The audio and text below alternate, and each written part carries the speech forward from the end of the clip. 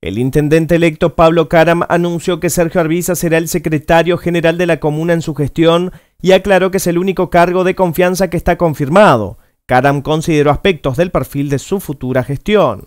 Sí, señor, es el único cargo confirmado. Este, cuando él se adhirió a, este proyecto, eh, fue lo primero que le pedí.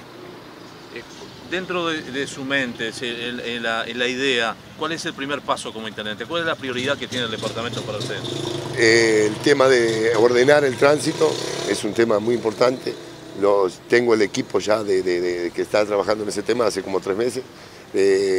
la calle, alumbrado público, caminería rural, y este, unos temas que son muy importantes, como en Sequeira, el tema de la barométrica que la descargan en pleno centro del centro poblado y esa agua va este, por un canal y llega justamente al pozo de extracción de agua de la OCE.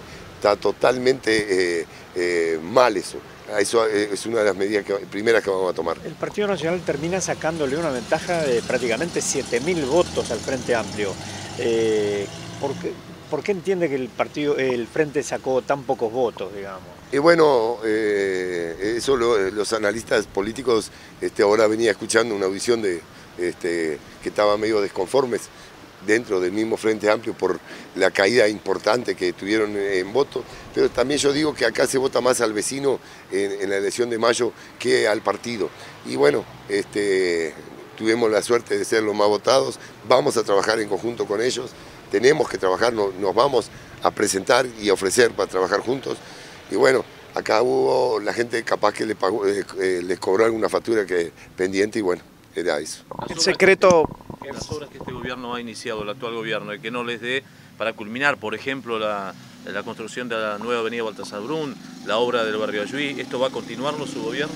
Todo lo que sea bueno para el departamento nosotros lo vamos a hacer.